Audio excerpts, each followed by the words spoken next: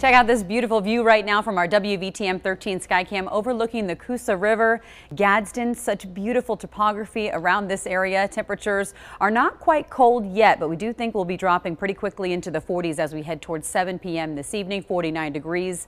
By about 10 p.m. temperatures will be at 46 and then heading into the overnight period. We'll see those upper 30s as we head into 7 o'clock in the morning, but nice and mild today. 62 still in Tuscaloosa and Fayette as well. We're at 59 in Birmingham, 55 in Talladega. Talladega right now and 59 in Brent. So there is a weather feature that is right now working towards delivering another cold shot of air down into the deep south. The cloud cover is already moving into the Tennessee Valley. We'll start to see some clouds pushing in overnight tonight that will limit how low our temperatures get.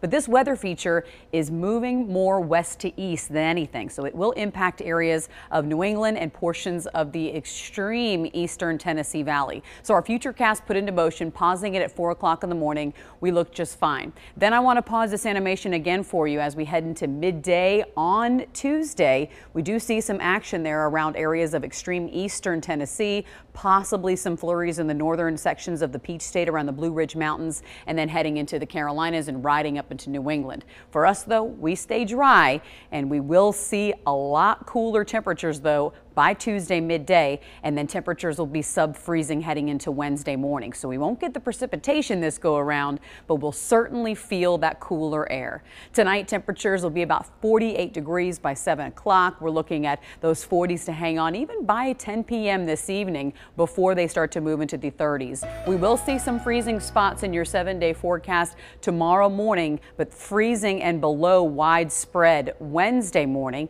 rebounding into the 50s to wrap up your week. This weekend, we have a slight chance for a shower to push in. Temperatures will be well above freezing in the afternoon. We're talking near 60 on Saturday and Sunday, but a weather feature is going to develop along the Carolina coast. Could even be a nor'easter into New England, but we'll be on the outskirts of that system.